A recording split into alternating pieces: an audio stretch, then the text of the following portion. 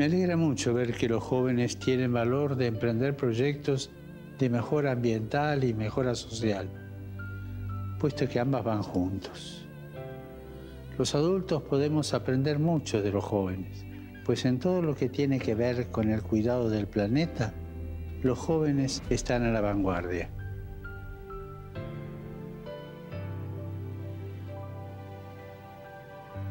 Aprovechemos su ejemplo, reflexionemos, especialmente en estos momentos de crisis, de crisis sanitaria, de crisis social, de crisis ambiental. Reflexionemos sobre nuestro estilo de vida, sobre cómo la forma de alimentarnos, de consumir, de desplazarnos, o el uso que hacemos del agua, de la energía y de los plásticos y de tantos bienes materiales son a menudo perjudiciales para la tierra. Elijamos cambiar. Avancemos con los jóvenes hacia estilos de vida más sencillos y respetuosos del medio ambiente. Y recemos para que todos tomemos las decisiones valientes, las decisiones necesarias para una vida más sobria y ecosostenible, inspirándonos por los jóvenes, ya que están comprometidos con este cambio. Y no son tontos, porque están comprometidos con el futuro de ellos. Por eso quieren cambiar lo que ellos van a heredar en un tiempo en que ya nosotros no estaremos.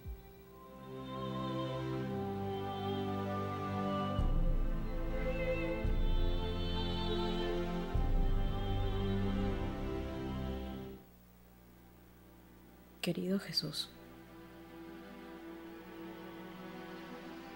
te escribo estas líneas para pedirte por la paz. La necesitamos tanto.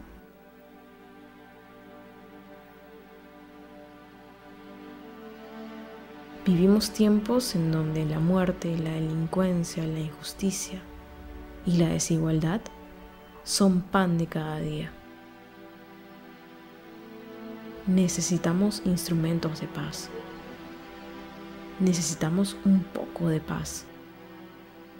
Te pido Jesús que nos ayudes. Te imploro que nos ayudes a actuar, a ser agentes de cambio frente a este mundo exacerbado. Que nos ayudes a cambiar un poco de nuestra realidad, ahí donde nos toca, en nuestra familia, con nuestros amigos, en nuestra ciudad, en nuestro país, pero sobre todo que nos ayudes a empezar por nosotros mismos. Ayúdanos a dar un poco de paz. Sé que no es suficiente y nunca lo será, pero somos muchos los que queremos un mundo mejor y solo lo podremos hacer alzando tu voz. Somos muchos los que queremos llevar alegría donde hay tristeza, amor donde hay odio, unión donde hay discordia y justicia donde todo es injusto. Protégenos en nuestra misión, pues hoy salir de casa es como ir a la guerra y no saber si volverás. He vivido la violencia en carne propia, Jesús. Y aunque la rabia me invada y el orgullo me quiera ganar, te quiero pedir por los que siembran odio e incitan el mal. Pues aunque muchos sean conscientes de sus actos, sé que tu amor abraza a todos. Enséñame a no juzgar a los que piensan distinto a mí. Ayúdame a no crucificarlos con mis palabras. Porque si estoy contigo, Jesús, mis actitudes tienen que ser distintas y tengo que reconocer que mi vida muchas veces no es testimonio de ti. Te pido también por todos los que ya no están aquí, porque les arrebataron la vida. Te pido por ellos, Jesús, y abrázalos con tu misericordia. Ayúdame a abrir puertas de paz con mi vida, con mi oración con mis acciones. Ayúdame a ser un instrumento de paz, Jesús.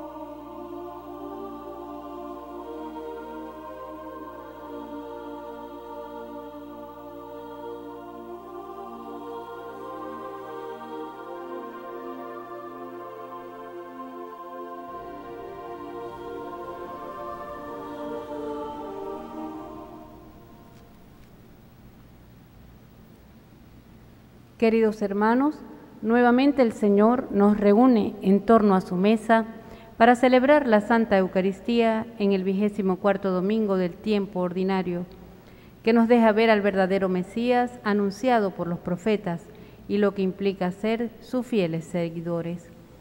Saludamos cordialmente a los televidentes del Canal 11 del Zulia y a quienes nos siguen a través de nuestras redes sociales, en Instagram, YouTube y Twitter, arroba Padre Claret y en Facebook Parroquia Padre Claret.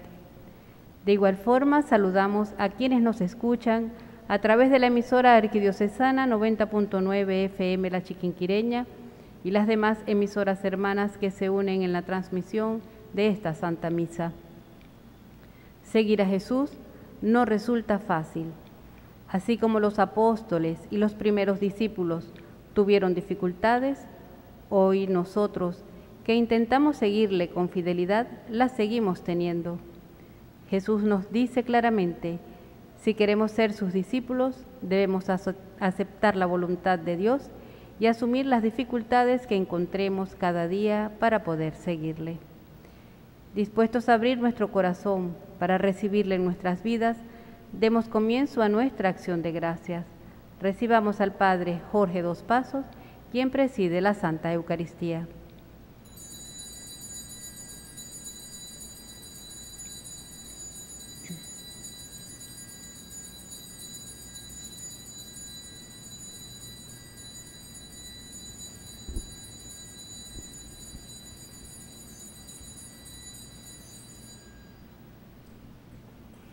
En el nombre del Padre, del Hijo y del Espíritu Santo. Amén.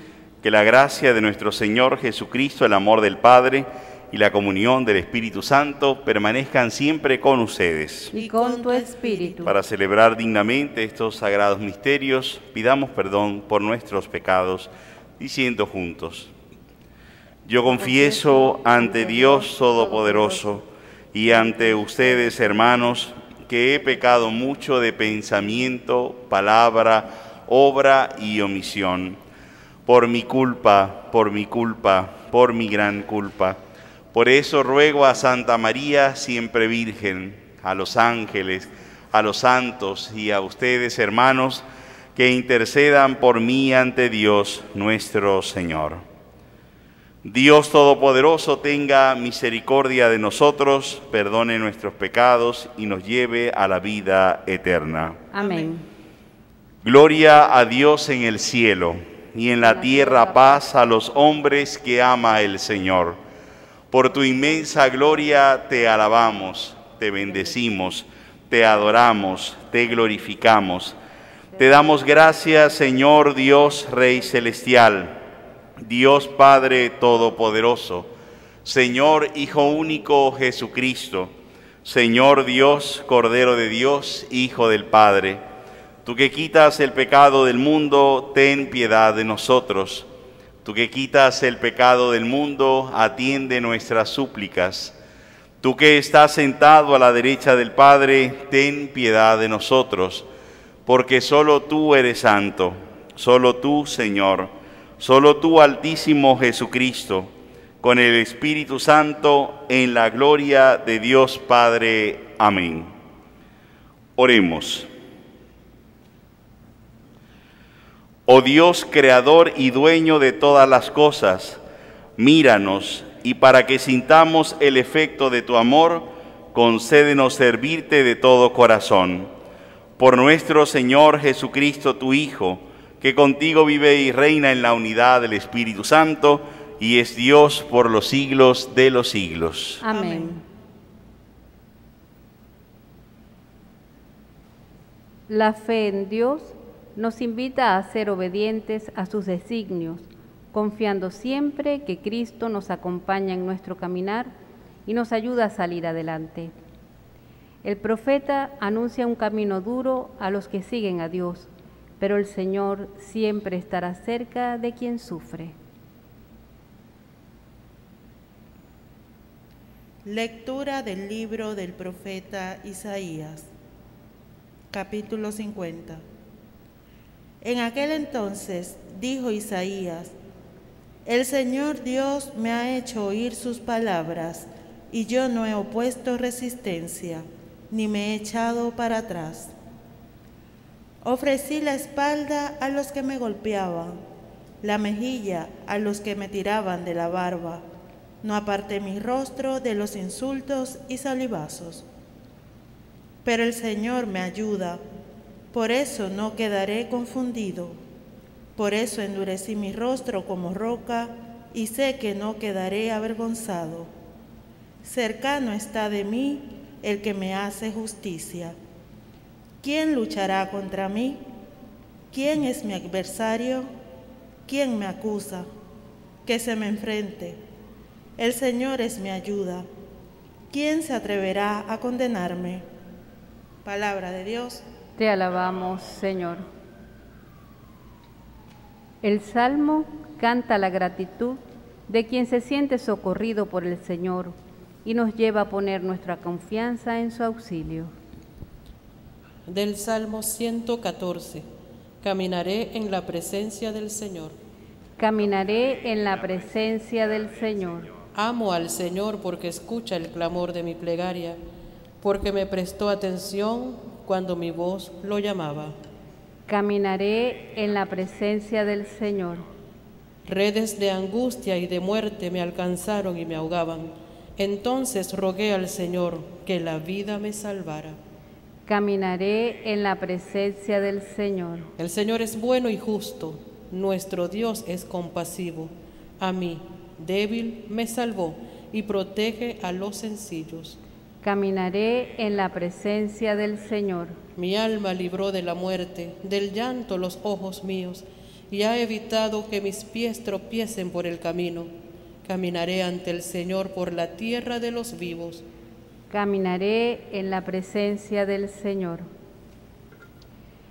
El apóstol nos hace una advertencia muy importante. Nos recuerda que la verdadera fe se traduce en un servicio efectivo a los demás. Solo con buenas obras haremos creíble el reino de Dios. Lectura de la carta del apóstol Santiago, capítulo 2.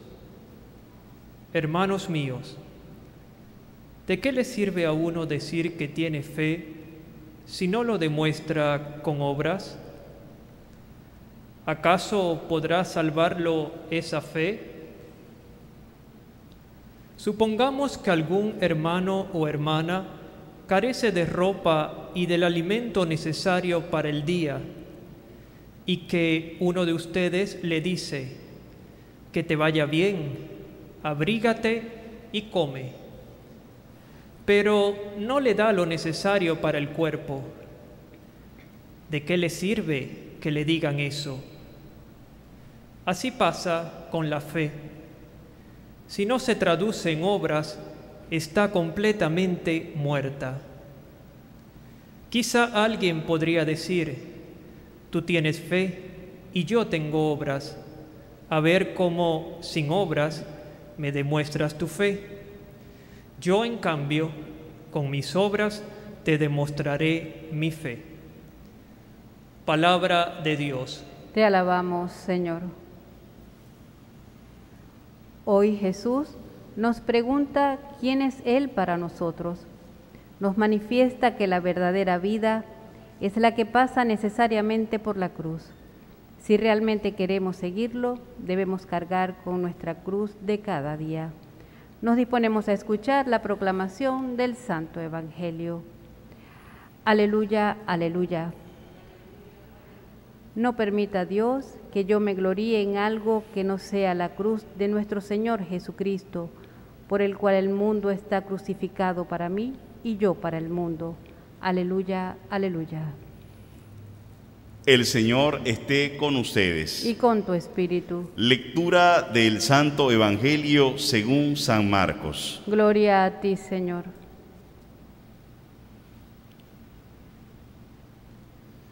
En aquel tiempo Jesús y sus discípulos se dirigieron a los poblados de Cesarea de Filipo.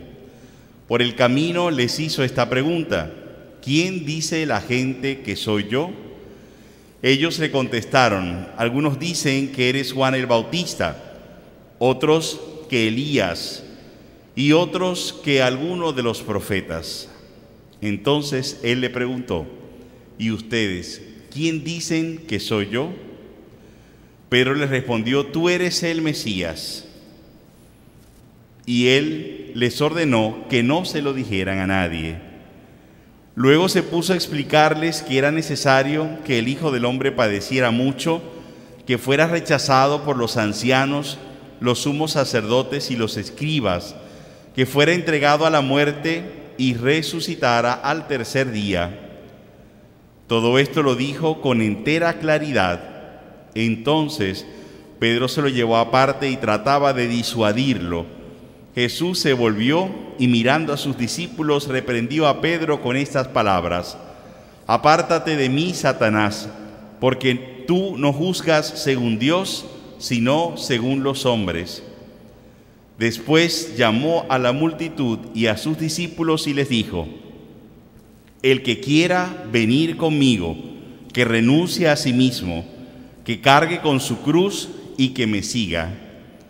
Pues el que quiera salvar su vida, la perderá. Pero el que pierda su vida por mí y por el Evangelio, la salvará. Palabra del Señor. Gloria a ti, Señor Jesús. Damos gracias al Señor que a través del caminar en la fe cada domingo nos sigue instruyendo con su palabra. Una palabra que en definitiva nos hace despertar y nos ayuda en medio de la cantidad de compromisos que tenemos que asumir y ante tantas necesidades que tenemos que vivir, pues la palabra de Dios nos anima y nos fortalece para no perder la fe, pues es precisamente la fe la que nos abre el camino al encuentro con Jesús. Es tan especial y tan importante para un cristiano tener claridad de cuál es su misión en medio del mundo. Es tan especial descubrir que la fe no es más, es más, perdón, que una tradición o de un simple compromiso. Cuando vivimos la fe, quizás por algún interés particular, cuando acudo a la presencia de Dios por alguna emergencia, cuando dejo que los demás me lleven al encuentro con el Señor sin ser consciente ni profundizar lo que estoy viviendo, corro precisamente el riesgo de tener una imagen bastante difusa de lo que es Jesús y más aún de lo que Él quiere de mí. Y lamentablemente en muchas oportunidades nos encontramos con cristianos que aún no han vivido una auténtica experiencia de encuentro con Jesús y que viven su fe por interés, por conveniencia o por tradición. El encuentro que tiene hoy Jesús con sus apóstoles y con todos aquellos discípulos, pues es también una oportunidad para darnos cuenta quién es Jesús. Si yo no tengo esa auténtica imagen de Jesús en mi vida, pues yo voy a gastar mucho tiempo y muchas energías pidiéndole a Dios una serie de cosas que no voy a descubrir, que no voy a conseguir, que no se me van a dar. Y ahí pues muchas veces nos desanimamos, tiramos la toalla y eh, abandonamos la experiencia de Dios. Por eso es tan especial fortalecernos y educarnos en la fe es tan importante para nosotros tener un auténtico encuentro con Jesús, con su palabra, que podamos sentir que la palabra se identifica con nuestra vida, que la palabra de Dios es una fuente de esperanza que me ilumina, que aclara mis dudas, que me llama la atención cuando me tiene que llamar la atención, que me anima en la misión que estoy cumpliendo. Por lo tanto, hoy Jesús inicia preguntándole a sus discípulos, ¿quién dice la gente que soy yo? Es decir, ya estamos avanzando en este ministerio público que escuchan ustedes que dicen los demás. No es que a Jesús le interese en lo que dicen los demás porque no depende de lo que dicen los demás, pero sí es una forma de ir llevando poco a poco a los discípulos a la pregunta, ¿y ustedes quién dicen que soy yo? Por supuesto, eh, ellos le responden, uno que eres Juan el Bautista, otro que Elías, otro que algún profeta. Es decir, logran identificar a Jesús con una misión de Dios muy especial, pero aún no dan con que es el Mesías, que es el Hijo de Dios. Y es lo que justamente hoy Pedro, impulsado por el Espíritu Santo, responde, tú eres el Mesías. Y está claro, el Señor le dice, esa respuesta obviamente no, no se la ha revelado nadie. En, otras de los, en otros de los, de los evangelios también dice, esto no te lo ha revelado nadie. Si has dicho eso es por obra del Espíritu Santo. Y decimos, es la acción del Espíritu que nos mueve y también descubrir que el Espíritu obra en la vida de cada uno de nosotros. Pero el Señor le aclara, porque le quiere aclarar qué tipo de Mesías es porque cuando escuchan Mesías, a lo mejor ellos estaban esperando un gran rey, alguien muy poderoso en fuerzas humanas, alguien que los iba a librar de la opresión del imperio romano, tantas cosas que vivía el pueblo, tantas necesidades, impuestos, eh, hambre, trabajo, y decir, bueno, en medio de todo lo que vivía, el Mesías parece que los iba a sacar de todo eso, era lo que ellos creían. Por lo tanto, Jesús le aclara quién es, qué es ser Mesías, quién es el Mesías, pero qué es, qué significa el ser Mesías. Y justamente la definición no concuerda con el concepto para los discípulos.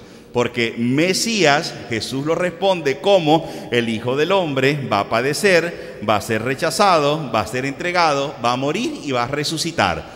Todo eso lo va a hacer por vivir y testimoniar la palabra de Dios.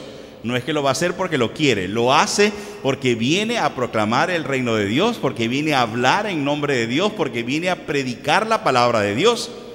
Y aquellos que lo rechazan justamente lo van a condenar. Y todo eso se los dice justamente con entera claridad, con entera claridad. Pero entonces resulta, e insisto, el concepto a ellos no le pegaba con la definición por eso Pedro lo llama aparte y trata de disuadirlo. Quizás a lo mejor aquí insisto con el tema, si no conozco quién es el Hijo de Dios, voy a ser como Pedro. No puedes, eso no te puede pasar a ti, eso no es lo que tú tienes que vivir. Y Jesús le dice, apártate de mí, porque tú no juzgas según Dios, sino juzgas según los hombres. Una gran tentación de nuestra fe llevarla según el juicio de los hombres. Por eso yo tengo que alimentar mi fe de la palabra de Dios.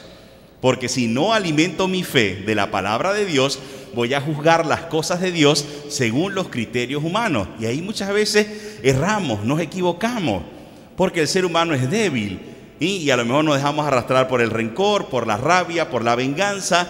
A lo mejor nos autocomplacemos con mucha facilidad, buscamos solo lo que me interesa y lo que me conviene solamente quiero a las personas que me quieren, como nos recordaba la palabra en estos días, y eso qué es de extraordinario, a lo mejor como Santiago nos recuerda hoy en la segunda lecturas, intentamos vivir una fe, pero sin obras.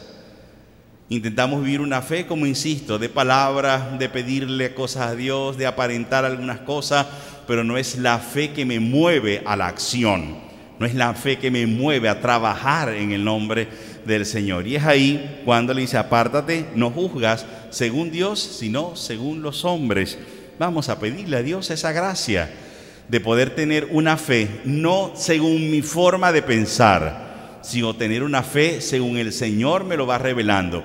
En su iglesia, a través de su doctrina, en su iglesia a través de sus sacramentos, en la iglesia a través de la vida pastoral, en la iglesia a través del compromiso, del testimonio que estamos invitados a vivir como buenos cristianos. Es allí cuando nos moveremos, no según mis criterios, que nos invitan siempre a la comodidad, al confort, a complacerme mi punto de vista, al, al achantarme a muchas veces la pereza, el ocio, eh, el disfrute de, de, a lo mejor solo de los sentidos, y decimos el Señor nos está pidiendo otra cosa.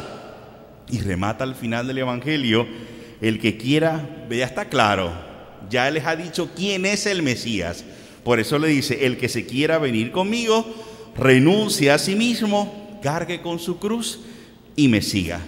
Esas frases son hermosas. El que quiere salvar su vida, la perderá. Y el que pierde su vida por mí y por el Evangelio, la encontrará. El que se busca a sí mismo, se pierde. No hay palabras más ciertas que estas, lo vivimos. La persona egoísta, la persona aislada, la persona marcada por el orgullo, la persona que no se deja hablar, es una persona que termina aislado, se pierde. Pero el que es capaz de tomar la cruz de cada día y seguirle, pues ganará su vida, porque hay tanta ganancia en el amor, hay tanta ganancia en el servicio, hay tanta ganancia en la entrega. El Señor es acertado en su palabra y nos llega siempre al corazón. ¿Conocemos nosotros a Jesús? ¿Seguimos al Jesús de que nos está hablando hoy el Evangelio? ¿O tengo mi idea de Jesús, lo que yo aprendí, lo que yo creo? Y cuando me tocan cosas en las que no estoy de acuerdo, pues yo digo, este, esto no, no creo en esta parte de Dios o no creo en esta parte de la iglesia que vive la doctrina que nos ha revelado el Señor, por lo tanto es palabra de Dios. Y decimos, yo no creo en estas cosas. Entonces decimos, que sigo yo auténticamente al Señor, mm, vivo su palabra, juzgo según el criterio de los hombres o me dejo guiar según el criterio de Dios. Ese es el Espíritu Santo el que me lleva a decir, tú Señor eres el Mesías, el que has dado mi vida, tu vida por amor a mí, por lo tanto que me has perdonado y has perdonado a los que te han juzgado, el que vive en el perdón, el que vive en el amor, el que se esfuerza por tener obras que testimonien la fe ese es el Jesús al que yo sigo, con el que yo he tenido un encuentro, vamos por buen camino. Y aunque tenemos momentos de debilidad y aunque caemos como cualquier ser humano, pues nunca nos dejamos vencer, pues nos levantamos con la gracia de Dios y seguimos adelante con esa fuerza que Él nos regala en momentos tan especiales como celebrar la Eucaristía, con todas las personas que nos sintonizan en sus hogares a través de la radio, de la televisión, del internet y vivimos un momento también de oración. Que las palabras del Señor en este vigésimo cuarto domingo del tiempo ordinario también lleguen a tu corazón y esta predicación que Jesús hace hoy a sus discípulos partiendo de una pregunta, pues también nosotros nos la podamos preguntar y podemos decir, ¿qué dice el mundo de quién es Jesús? Es fácil, tantos comentarios, tantas ideas que encontramos en la gente que nos rodea, pero también poder llevarnos a esta, esta pregunta a la oración y yo, ¿quién digo que es Jesús? Más aún, doy testimonio de lo que es Jesús con mi vida. Mis obras hablan de la presencia viva del Espíritu de Dios en mi corazón. Y de acuerdo a esas respuestas, también seguimos trazando nuestro proyecto y plan de vida. No estamos solos, el Señor está con nosotros. Que su gracia nos acompañe, que la fuerza del Espíritu Santo nos ayude a caminar, caminar en la presencia del Señor, que es caminar según el juicio de Dios, no según el juicio de los hombres. Que Dios nos siga acompañando, su bendición esté siempre con nosotros.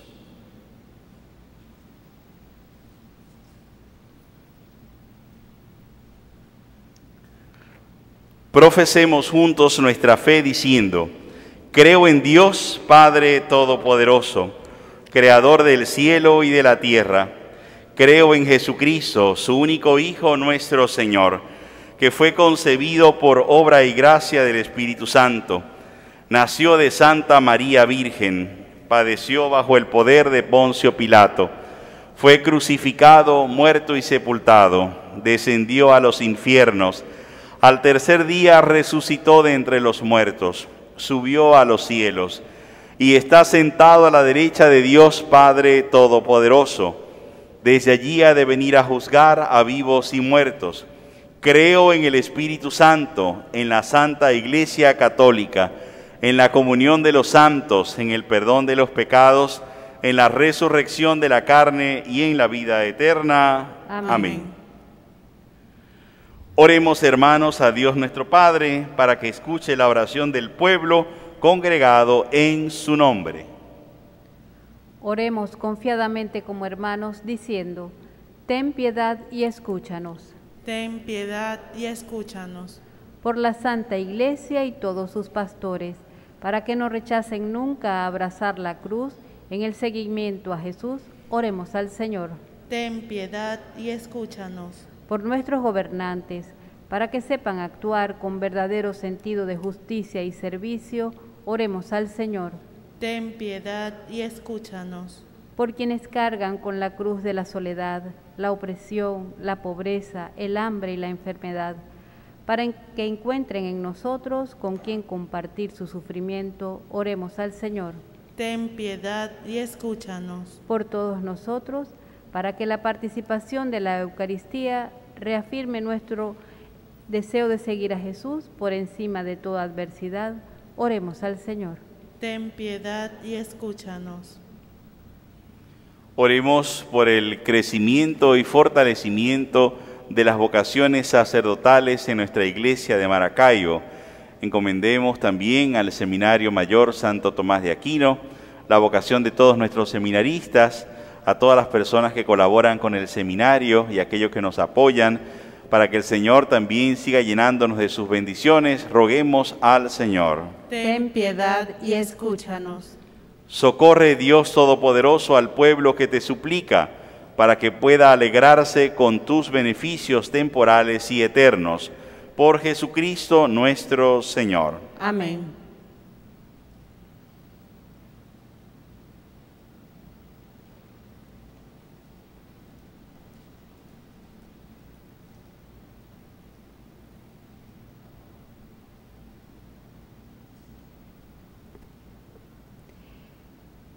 En el pan y el vino están representadas todas las bendiciones que Dios nos ha dado y que en el sacrificio vuelven a Él.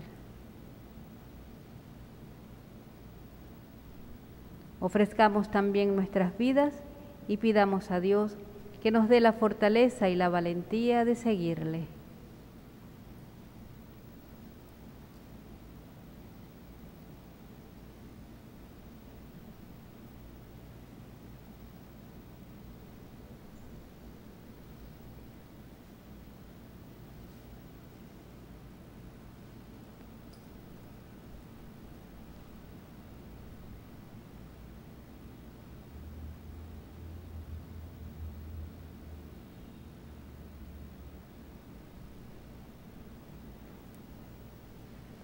Después de preparar los dones sobre el altar, el sacerdote lava sus manos expresando su deseo de purificación interior y se dispone al sacrificio eucarístico.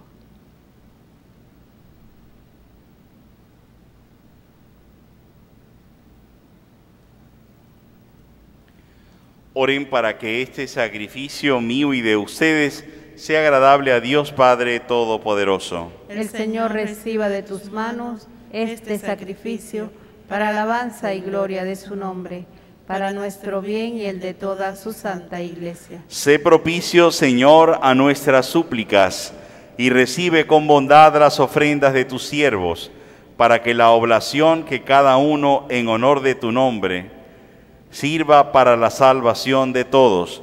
Por Jesucristo nuestro Señor. Amén. Que el Señor esté con ustedes. Y con tu espíritu. Levantemos el corazón. Lo tenemos levantado hacia el Señor. Demos gracias al Señor nuestro Dios. Es justo y necesario. En verdad es justo y necesario darte gracias, Padre Todopoderoso y Eterno, porque nos concedes en cada momento lo que más conviene y diriges sabiamente la nave de tu iglesia asistiéndola siempre con la fuerza del Espíritu Santo, para que totalmente entregada a ti no abandone la plegaria en la tribulación, ni la acción de gracias en el gozo, por Cristo, Señor nuestro, a quien alaban los cielos y la tierra, los ángeles y los arcángeles, proclamando sin cesar.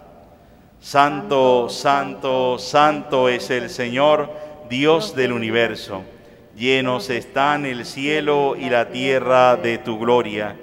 Osana en el cielo. Bendito el que viene en el nombre del Señor.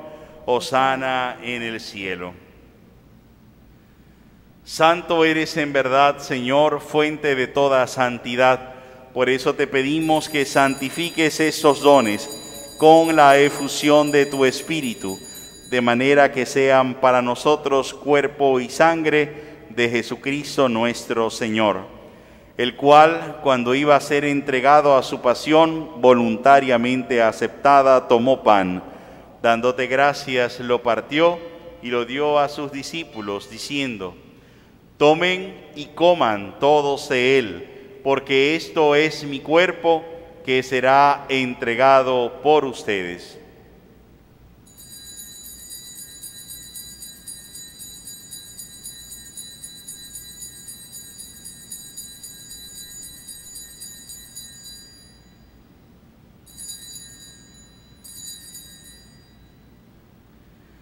Del mismo modo, acabada la cena, tomó el cáliz, dándote gracias de nuevo, lo pasó a sus discípulos diciendo, tomen y beban todos de él, porque este es el cáliz de mi sangre, sangre de la alianza nueva y eterna, que será derramada por ustedes y por muchos para el perdón de los pecados. Hagan esto en conmemoración mía.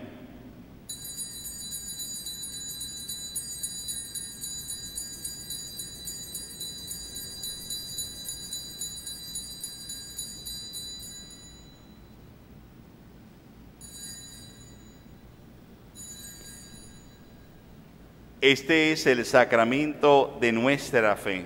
Anunciamos tu muerte, proclamamos tu resurrección. Ven, Señor Jesús.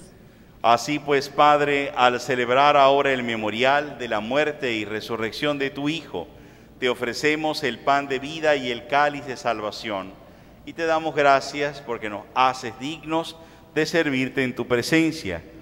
Te pedimos humildemente que el Espíritu Santo congregue en la unidad a cuantos participamos del cuerpo y la sangre de Cristo. Acuérdate de tu iglesia extendida por toda la tierra y reunida aquí en el domingo, día en que Cristo ha vencido a la muerte y nos ha hecho partícipes de su vida inmortal, con el Papa Francisco, nuestro obispo José Luis, y todos los pastores que cuidan de tu pueblo, llévala a su perfección por la caridad. Acuérdate también de nuestros hermanos que se durmieron en la esperanza de la resurrección y de todos los que han muerto en tu misericordia. Admítelos a contemplar la luz de tu rostro. Ten misericordia de todos nosotros y así con María, la Virgen Madre de Dios, su esposo, San José, los apóstoles y cuantos vivieron en tu amistad a través de los tiempos, merezcamos por tu Hijo Jesucristo compartir la vida eterna y cantar tus alabanzas. Por Cristo, con Él y en Él, a ti Dios Padre Omnipotente, en la unidad del Espíritu Santo, todo honor y toda gloria por los siglos de los siglos. Amén. Fieles a la recomendación del Salvador, y siguiendo sus divinas enseñanzas nos atrevemos a decir, Padre nuestro que estás en el cielo, santificado sea tu nombre, venga a nosotros tu reino, hágase tu voluntad en la tierra como en el cielo. Danos hoy nuestro pan de cada día, perdona nuestras ofensas, como también nosotros perdonamos a los que nos ofenden no nos dejes caer en la tentación y líbranos del mal. Líbranos de todos los males, Señor, y concédenos la paz en nuestros días, para que, ayudados por tu misericordia, vivamos siempre libres de pecado y protegidos de toda perturbación, mientras esperamos la gloriosa venida de nuestro Salvador Jesucristo. Tuyo es el reino, tuyo, el poder y la gloria por siempre, Señor. Señor Jesucristo, que dijiste a tus apóstoles, la paz les dejo, mi paz les doy. No tengas en cuenta nuestros pecados, sino la fe de tu iglesia. Y conforme a tu palabra, concédele la paz y la unidad tú que vives y reinas por los siglos de los siglos. Amén. Que la paz del Señor esté siempre con ustedes. Y con tu espíritu. Intercambiamos un gesto fraterno de paz.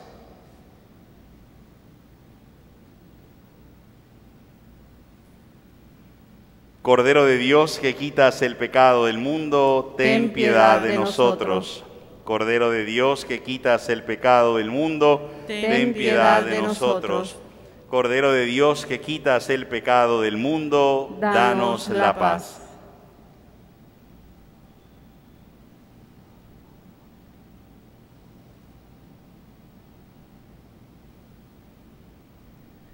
Este es el Cordero de Dios, el único que quita el pecado del mundo.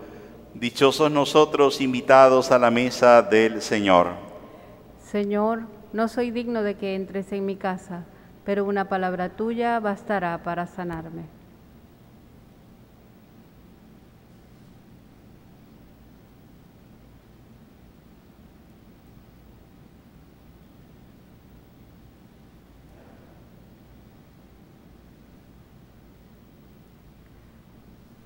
Jesús viene en la Eucaristía a fortalecer nuestra debilidad y animar nuestros propósitos. Con alegría vayamos a su encuentro.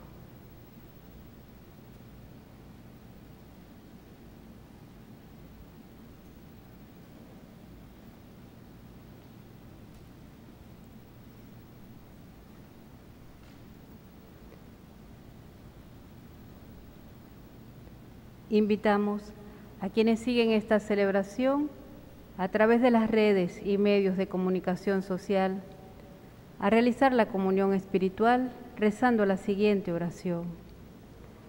A tus pies me postro, oh Jesús mío, y te ofrezco el arrepentimiento de mi corazón contrito que se hunde en la nada ante tu santa presencia. Te adoro en el sacramento de tu amor, la inefable Eucaristía, y deseo recibirte en la pobre morada que te ofrece mi alma. Esperando la dicha de la comunión sacramental, quiero poseerte en espíritu. Ven a mí, puesto que yo vengo a ti, oh mi Jesús, y que tu amor inflame todo mi ser en la vida y en la muerte. Creo en ti, espero en ti, te amo, así sea.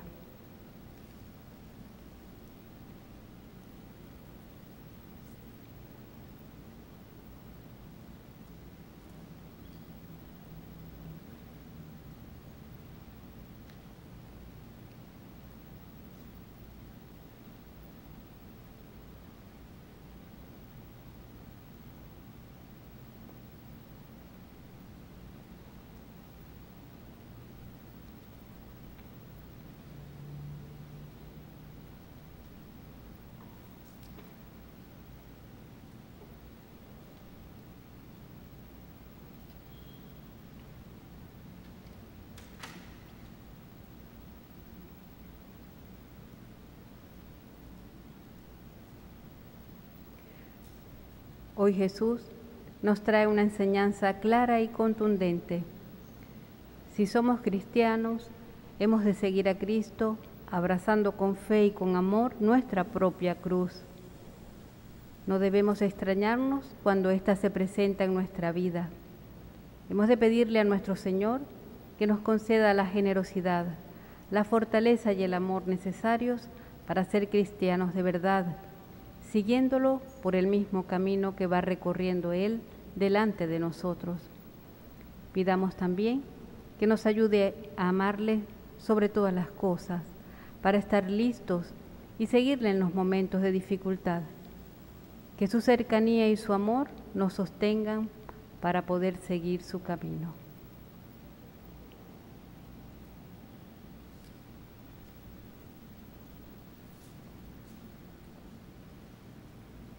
Oremos.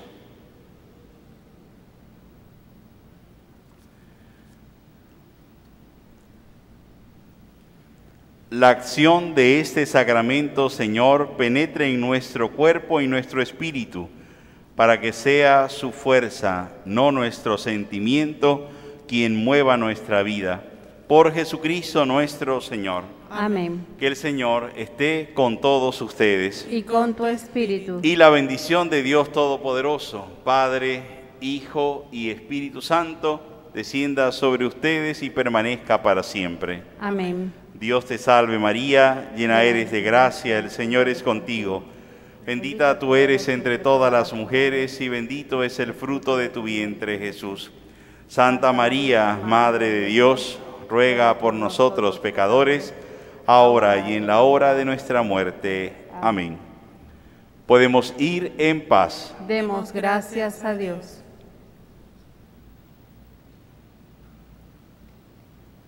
Alentados por la palabra de vida y fortalecidos por la fuerza de la Eucaristía, vayamos a testimoniar con obras nuestra fe en Jesús.